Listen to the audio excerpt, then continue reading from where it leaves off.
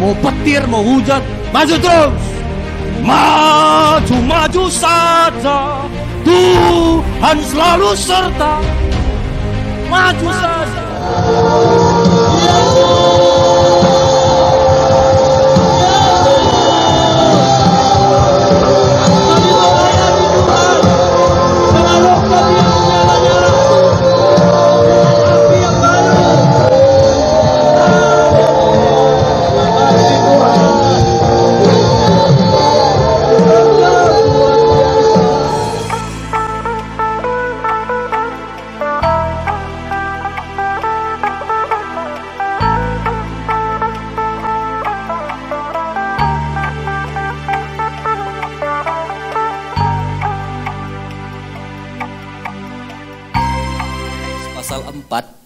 Ayat 23 sampai 25. Markus 4 23 25. Barang siapa mempunyai telinga untuk mendengar, hendaklah ia mendengar. Kamu punya telinga kan? Punya. Kalau punya telinga untuk mendengar, hendaklah mendengar. Ayat 24, lalu ia berkata lagi, camkanlah apa yang kamu dengar. Ternyata banyak orang dia punya telinga mendengar masuk sini, keluar sini. Tapi ayat ini bilang kalau masuk sini maunya nyerap sampai ke hati dan di ayat 24 ditekankan camkan. Artinya lakukan apa yang kamu dengar. Ukuran yang kamu pakai untuk mengukur akan diukurkan kepadamu, di samping itu akan ditambah lagi kepadamu. Jadi seberapa banyak kita dengar firman Tuhan, sebegitulah akan diukurkan kepada kita. Saya kasih contoh begini. Kalau kamu dengar firman Tuhan 10%, maka 10% cuma ditambahkan kepada Anda. Cuma 10% lah kamu mengalami Tuhan. Kalau kamu dengar firman Tuhan 20% dan kamu camkan dalam hidup itu cuma 20%, maka firman Tuhan bagaimana kamu ngukurnya, ukuran itu yang akan dipakaikan kepadamu. Jadi ngalami Tuhannya pun kita cuma 20%. Nah, jadi kalau kita dengar firman Tuhan 100%, lalu kita lakukan 100%, firman Tuhan bilang ukuran itu akan ditambahkan kepadamu. Bukan hanya itu, di samping itu akan ditambah lagi kepadamu. Jadi semakin kita banyak camkan firman Tuhan, lakukan firman Tuhan, akan makin banyak kita mengalami hal-hal yang luar biasa. Nah, jadi itu sebabnya hal ini yang menyebabkan ada orang dia sama-sama datang di gereja, duduk mungkin bersampingan, dengar pendeta khotbah pendeta yang sama, tapi pulangnya beda. Nah itu tadi tergantung cara pendengaran dan cara mencamkan setiap firman Tuhan. Nah jadi yang membuat kita berbeda ketika kita dengar firman Tuhan, kita lakukan, itulah yang akhirnya membuat kita menjadi anak-anak Tuhan yang berbeda. Nah hari ini kita mau belajar tentang karakter yang saya bilang tadi ya. Kita sama-sama baca ini dulu, ini penting. Satu, dua, tiga. Karisma, skill dapat membawa orang cepat ke puncak. Tetapi hanya karakterlah yang akan tetap mempertahankannya di atas. Karisma kita, kehebatan kita, skill kita, keahlian kita, ada yang jago masak, jago jago bertukang, jago berbengkel, jago berkhotbah, ada yang jago makan mungkin.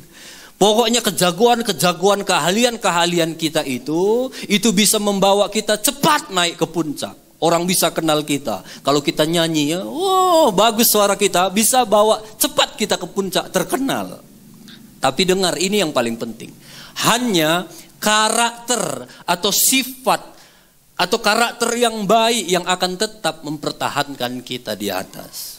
Jadi orang-orang yang sup cepat bagus, tapi kalau karakternya nggak bagus, sebentar lagi turun itu. Lihatlah sekarang ini kan lagi lagi banyak orang-orang yang dulunya di atas, yang gampang kali dulunya ngomong, sekarang semua masuk penjara ini. Karena kasus judi online. Karena nggak jaga karakter, tipu sana, tipu sini, turun. Nah makanya ini penting buat kita semua. Jadi anak-anak muda, orang-orang tua, jagalah karakter kita karena itu yang akan tetap mempertahankan kita di atas.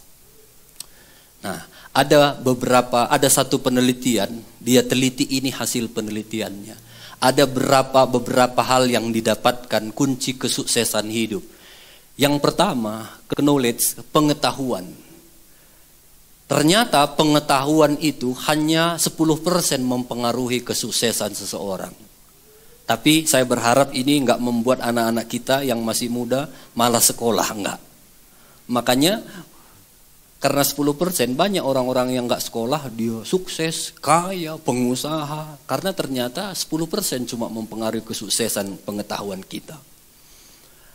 Skill itu 15%. Kalau kamu punya keahlian, itu mempengaruhi kesuksesan lu 15%. Kalau kamu jago itu 15% udah sukses hidup lu. Tapi ada yang penting. Habit itu tingkatannya lebih tinggi. Habit itu artinya kebiasaan. Nggak apa-apa lah ya kita sikit-sikit bahasa Inggris supaya keren ya kan. Supaya kamu pun belajar-belajar bahasa Inggris. Habit itu artinya kebiasaan. Kalau kebiasaan lu baik, udah 25% udah sukses kami itu. Tapi kalau kebiasaan lu jelek, ah udah 25% udah gagal kami itu. Tapi ada yang paling kuat yaitu 50%. Itu sangat mempengaruhi hidup seorang adalah karakternya. Kalau karakternya udah bagus, udah baik, udah bisa dipercaya, jujur, tulus, gak suka bohong, pokoknya mantap lah, udah 50% udah sukses dia itu. Tapi kalau 50% karakternya jelek, suka bohong, suka nipu, suka uh, pakai topeng, munafik, ah udah 50% gagal hidupnya.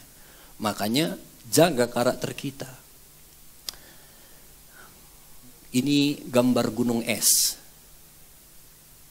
Kalau kamu pernah nonton kapal Titanic, nah model-model gunung gini lah yang ditabraknya. Kapal kami ini kapal yang hebat, tidak akan pernah tenggelam. Termasuk Tuhan sendiri pun gak mampu menenggelamkannya. Eh, pelayaran pertama ada kapal, ada gunung es kecil gitu. Ah, nggak apa-apa itu, ditabraknya kerpak, terbelah dua kapalnya, tenggelam. Ini kecil, tapi ini ini yang ngeri ini. Ini, ini akarnya ini. Nah, ini beberapa kali lipat dari atas.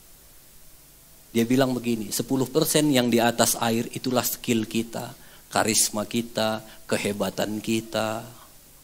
Kita, oh mantap sukses, itu cuma 10%. Tapi yang 90% ini inilah karakter kita. Ini yang akan menjaga hidup kita. Kalau kita jaga hidup kita 90% nah ini tetap bertahan. Tapi kalau ini nggak kuat, gampang digoyahkan, nggak berkarakter, main sogok, main nggak benar, nah ini goyah ini. Jadi itulah sebabnya kita perlu menjaga karakter kita, ya. Nah, perilaku yang positif atau karakter yang baik itu selalu bersumber dari hati yang diperbaharui. Makanya selalu dibilang jaga hati, jaga hati, jaga hati. Karena dari situlah terpancar karakter-karakter kita. Nah, yang pertama, hari ini yang kita perlu belajar, karakter apa yang perlu kita jaga? Yang pertama adalah asli. Saya berharap kita semua jadi jemaat-jemaat yang asli 1 Timotius 1 ayat 2. 1 Timotius 1 ayat 2. Ini perkataan Paulus kepada anak rohaninya Timotius. Kepada Timotius, anakku yang sah di dalam iman. Kasih karunia, rahmat dan damai sejahtera dari Allah Bapa dan Kristus Yesus Tuhan kita menyertai engkau anakku yang sah. Lebih lebih lebih tepat dia dalam bahasa Inggris dia bilang begini, to Timothy, my true son in the faith. Kepada anakku yang benar. Nah, itu artinya asli. Asli itu artinya benar, tulus, jujur. Jadi Tuhan mau kita jadi anak-anak Tuhan yang jaga karakter kita benar, tulus, jujur. Kamu lebih suka barang asli atau palsu? Asli. Dan biasanya barang asli itu mahal.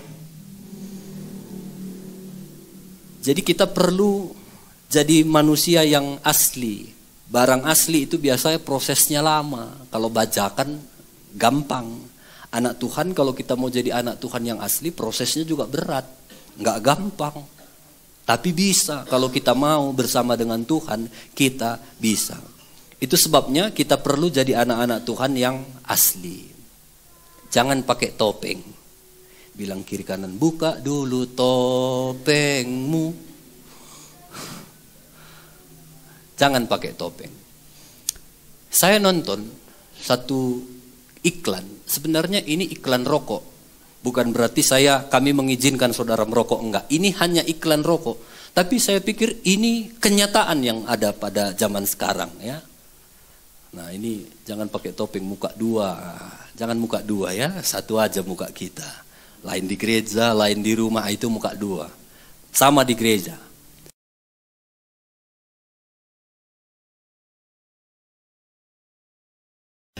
Lihat, semua orang pakai topeng. Semua pakai topeng. Pacaran pakai topeng.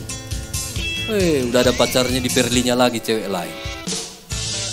Ketawa kata ber, bergaul pakai topeng. Bagus berlianku. Hmm.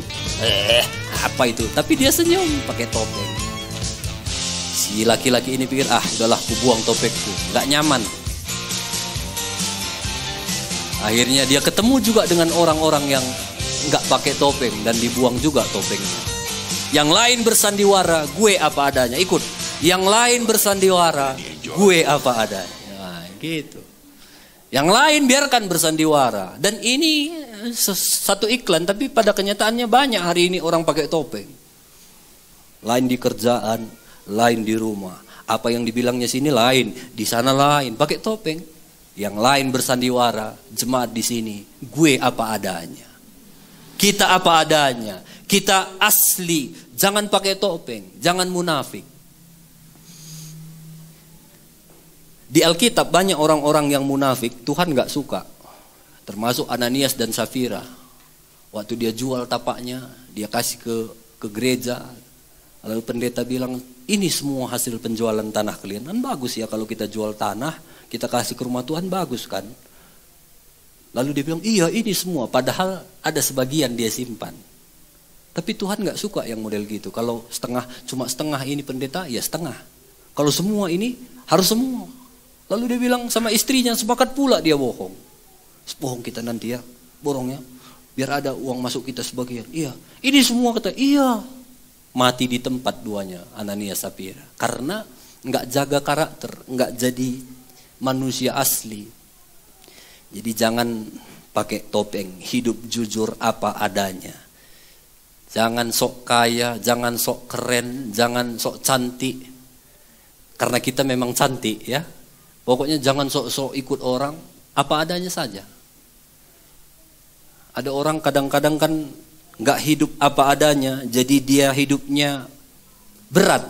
Dia bergaul dengan orang-orang yang keren, kaya, dia nggak mampu ikut-ikutan, nah jadi berat. Jadi hidup apa adanya.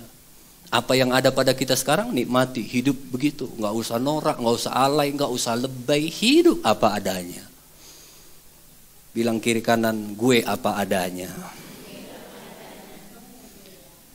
Jadi jangan sok kaya, sok pintar, ah, udah sok pintar belagu pula, salah pula, jangan. Jadilah apa adanya. Jangan sok rohani, oh, ini kan rohani. Jadi sok rohani nggak ada sok-sok rohani. Kalau rohani, jadilah kita semua tulus di hadapan Tuhan. Yang laki-laki, suami-suami, jangan tertutup sama istri. Istri-istri juga jangan tertutup sama suami. Apa adanya. Kemarin aku nonton ada satu klip lucu. Dia bilang inilah kalau terlalu jujur. Kan ini baru lebaran. Jadi suami itu suami istri itu maaf-maafan. Istrinya lah dulu dipegangnya tangan suaminya. Pak, selamat hari raya. Mohon maaf lahir dan batin ya Pak. Maafkan aku ya Pak, selama ini tanpa sepengetahuan itu sering kuambil uang di dompet itu Pak, untuk belanja Pak. Maafkan aku ya Pak, kemarin uang yang di lemari yang kita bilang hilang diambil orang pun akunya yang ngambil Pak. Maafkan aku ya Pak. Suaminya pun takut, ih Datang suami, iya mak, aku maafkan kamu. Lalu suaminya lagi minta maaf. Mak, minta maaf lagi aku ya mak. Selama ini ku bilang aku lembur, rupanya aku enggaknya lembur. Pergi aku ke rumah uh, selingkuhanku makan mak, maafkan aku ya mak. Suami istrinya terkejut. Sampai akhirnya diambil istrinya koper. Nah pulang kau, pergi kau dari rumah ini. Kenapa? Karena disimpan selama ini dan akhirnya meledak. Jadi jangan simpan-simpan yang nggak benar kalau nggak mau meledak. Lebih bagus hari ini kita buka hati Tuhan, ini kelemahanku, ini topengku Tuhan. Seringkali aku ini topengku, ngaku di hadapan Tuhan dan hari ini Tuhan akan pulihkan kita. Kalau kita hidup asli, apa adanya, percayalah kebajikan, kemurahan, pintu-pintu yang terbuka, kesempatan-kesempatan itu kayak magnet akan datang dalam hidup kita. Sama kayak ini tadi, waktu dia buka topeng, akan ada datang cewek yang buka juga topengnya. Kalau kamu pakai topeng, firman Tuhan bilang, apa yang kamu tabur, kamu juga tuai orang yang pakai topeng. Kalau kamu hidup apa adanya, kita hidup apa adanya, inilah aku, yang datang juga orang inilah aku. Terbuka nggak munafik nggak pakai topeng. Itu yang pertama jadi ciptaan Tuhan jadi yang asli. Yang kedua karakter yang Tuhan mau kita tetap jaga adalah dapat dipercaya. Saya percaya kita semua ini percaya kepada Tuhan. Pertanyaannya Tuhan percaya nggak sama kita? Nah ini pertanyaan penting. Dan kalau Tuhan percaya sama kita wah hebat hidup kita dan salah satu kita bisa dipercaya Tuhan itu caranya bagaimana kita menghormati Tuhan itu kelihatan bagaimana kita bisa dipercaya Tuhan atau enggak. Jadi orang yang bisa dipercaya Tuhan biasanya sifatnya, cirinya dia suka melakukan firman Tuhan walaupun kadang-kadang itu berat.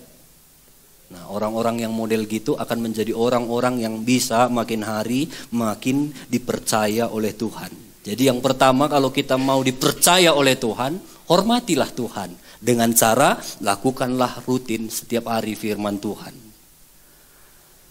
Selain kita menghormati Tuhan, kita juga harus menghormati diri kita sendiri.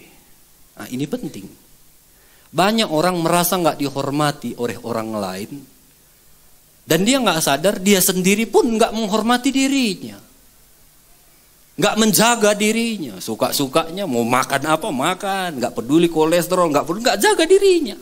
Mati matilah kalau gara-gara uh, buahnya tumbang pohonnya nggak apa-apa, ngatang keri ya. Itu kan nggak menghormati diri.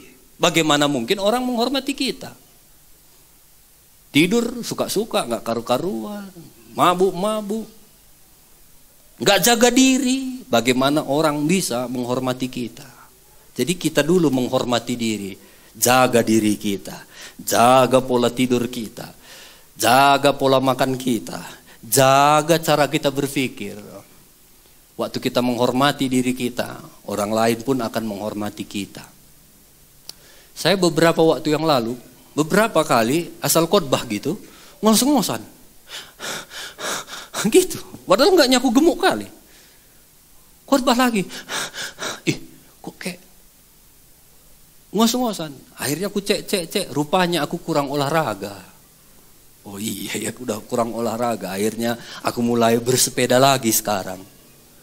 Karena aku berpikir aku harus jaga diriku. Bagaimana Tuhan bisa memakai aku satu sesi aja khotbah untuk perkara-perkara yang besar. Akhirnya aku berolahraga lagi. Ah, aku merasa udah nyaman lagi. Sekarang udah biasa lagi. Ini waktu hari raya, empat hari mulai hari Minggu sampai hari Rabu saya ada pelayanan di Manahil itu uh, lantai tiga. Jadi setiap hari bisa aku naik turun tujuh kali. Dan aku bisa kuat karena aku mulai olahraga, jaga diri. Aku berpikir bagaimana Tuhan bisa mempercayakan perkara-perkara besar dalam hidupku kalau aku nggak sehat. Makanya akhirnya aku jaga diri. Jaga kesehatan, jaga pola makan, jaga pola istirahat, jaga pola berpikir. Nanti minggu depan saya ada di Dumai. Bukan Dubai, Dumai ya. Nanti kalau Dubai baru kuajak kamu. Di Dumai ada satu pelayanan empat kali dua hari Satu hari empat kali ibadah, satu hari lagi ada seminar, empat sesi. Itu saya sendiri yang akan menyampaikan firman Tuhan, bagaimana kita harus jadi pelayan-pelayan kepada 13 gereja. Kalau saya nggak latihan mulai sekarang, olahraga dari sekarang, nggak sanggup itu. Jadi kita perlu menghormati diri kita juga untuk jaga diri kita. Ya, jadi kalau mau Tuhan percayakan perkara yang besar, jaga kesehatan, jaga diri, hormati diri. Dan yang berikut, teruslah buka hati untuk terus belajar. Kita semua perlu belajar. Saya pun sampai hari ini terus belajar, terus belajar, terus belajar. Belajar dari hal-hal kecil, belajar menghargai waktu, belajar pengetahuan, baca buku-buku, nonton YouTube, banyak pengetahuan di sana. Aku pun sejak ada YouTube banyak kali pengetahuan yang bisa aku dapat. Oh, rupanya begini ya. Oh, rupanya begini ya. Jadi banyak belajar supaya kita bisa lebih lagi dipakai Tuhan. Kisah para Rasul 16 ayat 2. Timotius ini dikenal baik oleh saudara-saudara di Listra dan di Iconium. Jadi Timotius ini dikenal baik. Dikenal baik itu artinya bertanggung jawab, jadi saksi, orang betah dekat dengan dia. Nah, itu dikenal baik. Saya berharap jemaat di sini juga gitu. Dikenal baik, jadi saksi, bertanggung jawab, betah orang sama kita. Nah, jadi itu ya.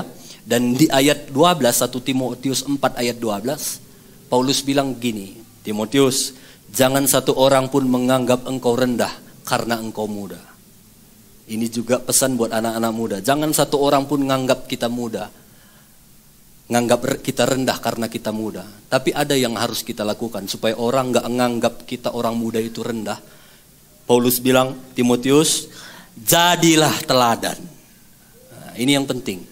Kalau saudara mau dihormati orang, nggak dianggap oleh orang rendah, jadi teladan. Dalam perkataanmu, dalam perkataan kita jadi teladan. Jangan asal ngomong, nggak dihargai orang itu. Kalau kita jaga perkataan kita, akan dihargai orang. Jadilah teladan dalam tingkah lakumu. Wah, jaga tingkah laku kita. Mungkin sekarang saudara kenapa saudara hormat sama saya? Mungkin karena saudara lihat tingkah laku saya, ah masih bisa lah ini. Kalaupun ada kekurangan eh, bapak pendeta kami ini sikit-sikit masih oke okay lah. Tapi kalau aku tingkah lakuku nggak benar, bawa kereta, bolongkan, ku jeblokkan knarpotnya, lewat di logon ini, sampai gang depan, nggak pakai helm lagi, berhenti pula di kedai tua, minum tua aku, sekali gitar itu mari, Ku tahu Bapak hari nggak mantap lagunya berantem mungkin nggak hormat lagi kamu sama aku karena aku sudah nggak jadi teladan. Nah jadi kalau mau kita dihargai jadi teladan dalam tingkah laku, apalagi jadi teladan dalam kesetiaan, jadi teladan dalam kekudusan. Ini penting jadi teladan dalam kekudusan. Saya hari-hari ini ada dengar berita-berita, aduh nggak usah aku ceritakan sama kamu lah. Jijik aku dengarnya, tapi itulah yang terjadi. Manusia udah kayak anjing. Lebih parah manusia dari anjing. Aduh, waktu aku dengar itu, aduh Tuhan. Itu sebabnya aku berharap anak-anak muda di sini jaga kekudusan hidup kita. Itu penting. Orang-orang tua juga jaga kesucian hidup kita. Nah, itu ya jadi dapat dipercaya. Jadi biarlah kita menjadi orang-orang yang dapat dipercaya.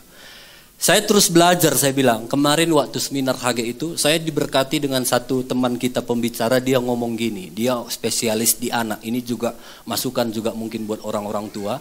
Dia bilang begini, kalau engkau punya anak, didiklah dia, habiskanlah waktumu, apalagi anakmu itu masih kecil, sampai SMP itu penting. Di situ masa penanaman nilai-nilai yang penting. Lepas SMP, udahlah. Kalau kau tanamkan nilai yang benar, udah aman itu sampai dia menikah, sampai dia orang tua katanya. Waktu aku dengar iya ya, aku kurang banyak waktuku untuk anakku. Jadi kadang-kadang kita kan masih kecil, ah udahlah nggak sadar kita udah besar anak kita.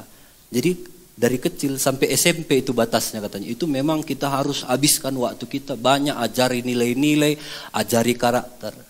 Saya sama anak saya itu karakter itu nilai yang paling penting. Pokoknya kalau dia nggak pintar, nggak nggak begitu jago di sekolah, misalnya nilainya rendah, saya nggak terlalu permasalahkan, nggak apa-apa aku belajar lagi. Tapi kalau karakter dia bohong, wah itu saya kemarin si Celin bohong. Dia bawa jajan, lalu aku bilang jajan di mana? Di kedai depan. Sama siapa? Sama mama. Oh, ya sudah. Karena saya belum kasih dia nyebrang sendiri. Rupanya Terakhir baru ketahuan dia jajan sendiri nggak sama mama. Karena istri saya bilang enggak, enggak sama saya dia tadi jajan. Memang kulihat dari sini, tapi dia jalan jajan sendiri. Oh, ku panggil dia, Celin, sama siapa kamu tadi jajan? Sama mama atau sendiri? Bohong kan aku? Iya pak. Kenapa bohong aku? Diam dia. Bapak paling nggak suka dengan anak yang bohong. Nakku, karena kamu bohong, apa bapak buat disiplinnya sama kamu? Dayo pak, nggak jajan aku 13 hari kata. Aku aja dengar, lama kali. Tapi oh ya udahlah karena itu keputusannya kan. Oh iya ya, 13 hari ya. Saya ambil kalender ini. Sekarang tanggal segini. 13 hari lihat ini. 1, 2, 3, 4, 5. Ini dua minggu lebih nakku baru kamu bisa jajan ya. Iya pak. Nah, udah, jangan bohong. Bapak paling nggak suka kalau bohong. Iya pak. Lalu pagi saya jemput dia sekolah, ikut lagi adiknya J. Biasalah pulang sekolah jajan. Lalu saya bawa yang dua ini jajan. Tiba-tiba dia pergi nyendiri langsung ke arah kereta. Kok nyendiri anak ini? Oh saya ingat, oh iya dia ingat disiplinnya kan. Lalu dia, besok juga gitu. Saya sengaja kan memang nggak ngajak dia. Besok juga gitu. Dia tadi semalamnya dia pergi ke sepeda motor, ini udah mulai dekat dia sama kami. Tapi dia nggak jajan, dia berdiri saja lihat jajan orang itu pilih apa gitu. Dia lihat aja. Saya lihat dia, mana nggak apa-apa ya cilit, ya nggak apa-apa. Aku kan masih belum jajan, udah dua hari katanya. Lalu ketiga hari nggak tahan aku kan, aku yang nggak tahan. Gitu juga dilihatinnya, aku bilang ambil anakku, ambil ya. Tapi ingat ya, nggak boleh lagi bohong ya. Iya pak, Nah ini kan karakter. Jadi bohong itu paling nggak bisa kau. Kalau bohong nggak bisa jadi apa pun. Selalu kami tekankan, jujur aku. Jangan bohong, jangan bohong, jujur.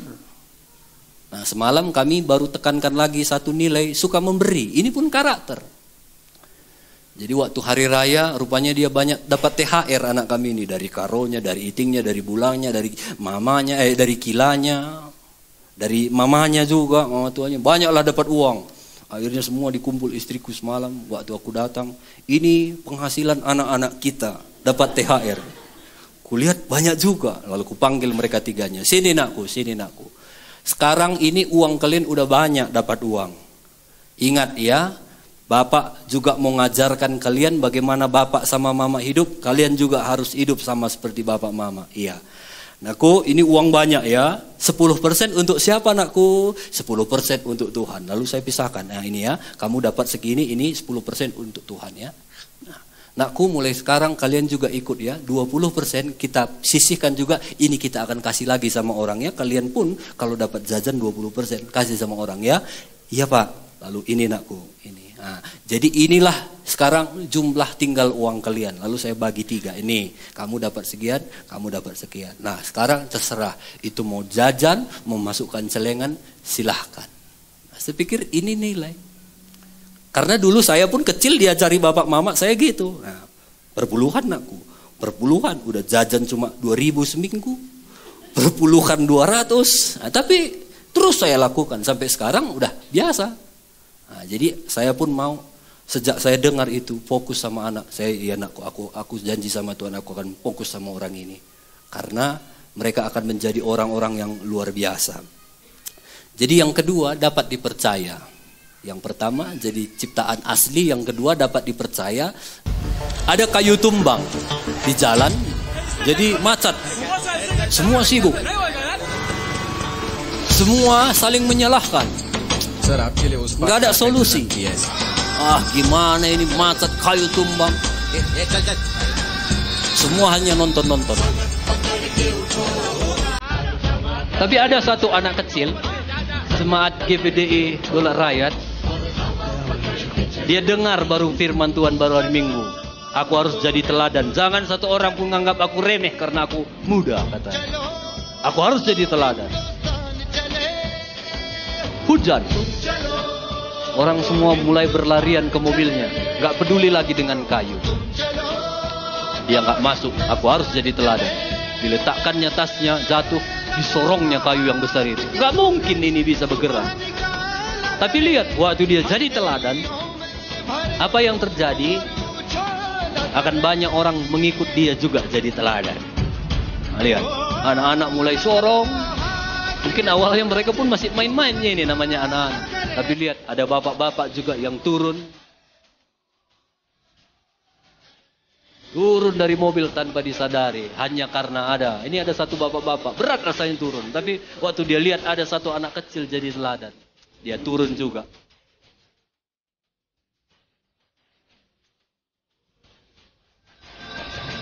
sekuat tenaga akhirnya dengan kerjasama mereka bisa menggeser kayu.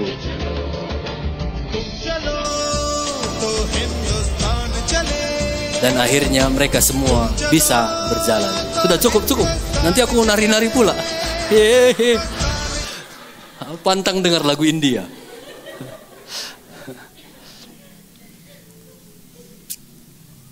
Jadi jadi teladan ya. Jadi teladan. Jangan cari teladan jadi teladan. Kita disuruh firman Tuhan bukan cari teladan. Jadilah teladan. Yang ketiga nilai yang harus kita bangun adalah konsisten. Tetap terus menerus. Jadi karakter ini harus kita sama-sama belajar terus menerus. Jangan gampang menyerah. Jangan saudara berdoa Tuhan aku mau jadi orang yang sabar. Eh tiba-tiba lepas kontrol emosi nu gak sabar kamu. Ah udahlah gak bisanya aku jadi orang yang sabar. Jangan begitu. Terus konsisten. Aku mau coba lagi, coba lagi, coba lagi. Mungkin saudara, aku mau tingkatkan kerohanianku di dalam Tuhan. Aku mau baca firman Tuhan setiap hari. Satu pasal satu hari. Kamu baca sehari ini masih tiga ayat udah malas kamu. Ah udahlah. Nggak usah satu pasal. Mulai dari satu ayat satu hari. Satu ayat satu hari kamu baca pagi satu ayat. Udah gitu tutup, renungkan. Lakukan saja. Pagi itu lakukan satu ayat itu. Besok juga gitu, konsisten. Satu saja satu hari, tapi terus menerus. Misalnya, hari ini kalau ada orang yang mengesalin, oh, ngeselin aku, aku peluk dia langsung. Aku bilang, oh, oh, shalom, sayang aku sama anu. Enggak usah kayak gitu. Ambil langkah kecil dulu, langkah kecil. Enggak usah langsung, aku peluk dia, aku berkati, kedoakan. Susah itu. Kalau orang yang ngeselin mungkin langkah awalnya nanti kalau dia ngeselin aku diam. Nah, itu kan langkah kecil, diam dulu. Diam. Nanti kalau udah berhasil kamu diam, oh aku mau tingkatkan. Kalau ada yang ngeselin aku mulai senyum. Nah itu kan langkah demi langkah kecil tapi terus menerus. Ya, jadi mulai dari hal-hal kecil. Nah ini praktek ya, nanti di komsel saya berharap ini obrolan seru. Hari ini langkah apa yang kecil apa yang sudah kamu kerjakan. Mulai dari hal-hal kecil. Nanti di, di, dicari apa yang kita bisa kerjakan. Ya, jadi begitu. Ada satu uh, kesaksian. Ini satu kisah nyata. Ada seorang anak Tuhan Nah ini saya pikir kita lewatkan saja. Nah ini juga penting ya. Jadi dari mana faktor-faktor karakter kita itu terbentuk? Yang pertama dari kepribadian kita sendiri. Yang kedua dari lingkungan. Jadi karakter kita itu juga bisa dibentuk dari lingkungan kita. Makanya kalau lingkungannya nggak baik, orang-orang di dalam itu biasanya juga nggak baik. Makanya jaga hidup kita dari lingkungan-lingkungan yang baik. Citra diri, bagaimana Anda memandang diri Anda sendiri. Jadi bagaimana kita memandang diri kita, itu juga akan membentuk karakter kita. Kalau kita merasa aku ini orang baik, maka kita akan jadi orang baik. Kalau kita pun merasa aku ini nggak baik-baik kali, nggak jujur-jujur kali, aku ini masih nggak beresnya, akan terbentuk kita tetap nggak beres. Nah, jadi itu ya pergaulan Nah, pergaulan itu juga sangat mempengaruhi karakter kita. Makanya selalu dibilang jaga pergaulan kita, ya. Nah, ini namanya Benjamin Solomon Solomon Carson. Anak ini bertumbuh bersama dengan ibunya dan kakaknya. Umur 8 tahun dia sudah ditinggalkan sama bapak kandungnya. Jadi dia dibesarkan oleh mamanya. Mamanya ini dia nggak bisa baca, nggak bisa tulis. Jadi mamanya ini mau ngajarin si Ben Carson pun nggak bisa. Nah itulah betapa betapa rendahnya anak ini. Sampai di sekolah dia suka diejek sama teman-temannya. Ah si Ben Carson, si goblok, si tolol, nggak bisa apa-apa. Ya wajar karena mungkin mamanya pun nggak bisa ngajarin dia. Dan akhirnya dia mendapat nilai F di sekolah. D saja udah ngeri, ini F. Ini kisah nyata, ada filmnya nanti kalau saudara mau cari, cari. Dia dapat nilai F, nilai nol, nggak lulus sampai dia diejek selalu sama teman. Bolah mau tumui, oh loak, bodoh. Tapi dia nggak berhenti. Mamanya kasih pesan sama dia, nakku, ada pesan mama dia rupanya suka nonton. Jangan kebanyakan nonton kau ya. Kurangi nontonmu. Jangan terlalu lama kau nonton. Yang kedua mamanya bilang, mulai sekarang anakku pergi kau perpustakaan, baca buku-buku. Seminggu itu minimal kau baca satu buku, kau tulis apa inti buku itu, kau ceritakan sama mama. Apakah si Ben Carson ini langsung taat? Enggak. Di dalam filmnya itu anak ini pun enggak taat masih. Kalau mamanya pergi ke pajak dia masih suka nonton diam-diam suka nggak taat, suka nggak baca buku. Sampai SMP nilainya kacau balau. Tapi sejak SMA dia mulai taat kepada aturan mamanya. Sampai akhirnya dia lulus menjadi salah satu siswa terbaik dan berprestasi. Wah. Kapan dia berprestasi? Waktu dia taat kepada perintah mamanya, baca buku nakku.